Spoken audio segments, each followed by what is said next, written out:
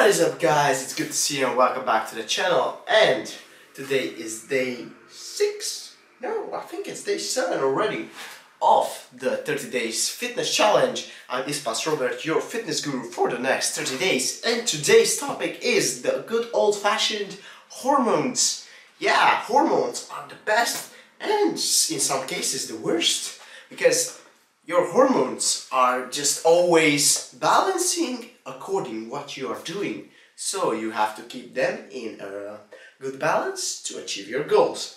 So let's jump into it.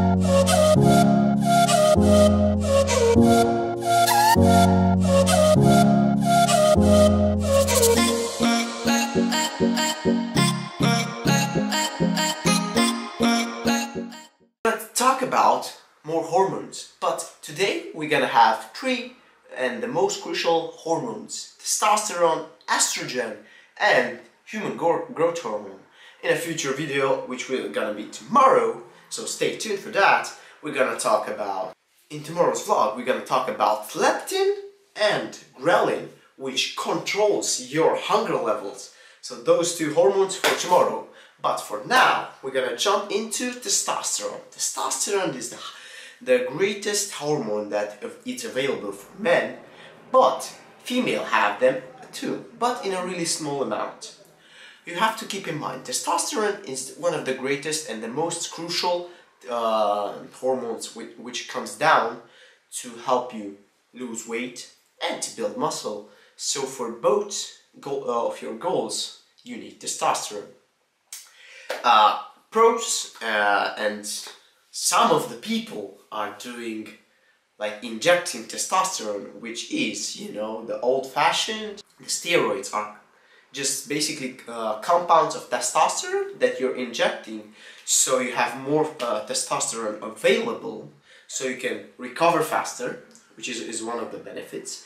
And your uh, muscle synthesis is just uh, way higher other benefits of testosterone is bone mass, um, high libido, so high sex drive, and uh, lower body fat when you have uh, high uh, testosterone levels, and uh, higher rates of uh, hair on the body. Now, uh, the estrogen. Estrogen is the feminine equivalent of the testosterone. So females has more estrogen, but men has as well estrogen. And what, uh, what I want to explain you is for men, when you have an over excess of estrogen, what happens is the you can see on some men they have like uh, they have a higher belly fat, so they have a, a high uh, rate of fat as well. But because of high estrogen, their uh, chest is looking like male boobs mostly. Yeah, that's occurring because high levels of estrogen. And it's not mostly our fault, it's some genes as well, but also the uh, foods we eat are uh, more and more likely to be uh, causing estrogen inflammation and estrogen overdose in our body. Because when it comes down to inflammation, when you have inflammation, your testosterone drops and estrogen grows. So that's what's happening. That's why you see in the past couple of years, the girls are just becoming from girls to women really, really quickly because this is estrogen overdose in their uh, body, which just makes them like skip one of the phase, you know.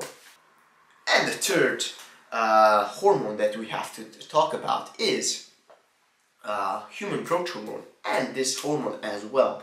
Really really crucial for health. Why? How tall you're gonna be uh, so when you have high uh, levels of human growth hormone in your uh, young ages then you're gonna be sure that you're gonna be a quite tall person as well. Uh, bone structure and bone mass it helps with that and um, reduces some um, belly fat and body fat as well. So when you have high uh, levels of human growth hormone for men, uh, you're gonna have a quite higher level of testosterone. So those things are going hand in hand. So these three hormones are for today and how you can boost uh, most commonly these hormones are related to fat.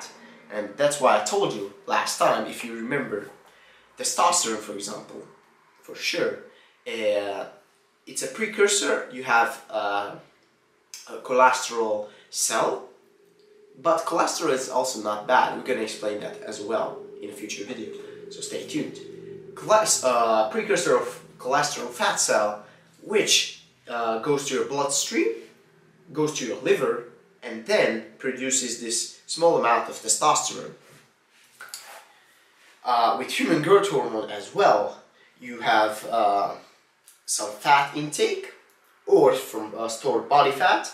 You have other sources, vitamins, minerals, and it uh, pushes your human growth hormone to increase. So you start being a bit taller, your uh, cells are regenerating uh, at a faster rate, and you increase uh, your uh, basal metabolic rate in the same time.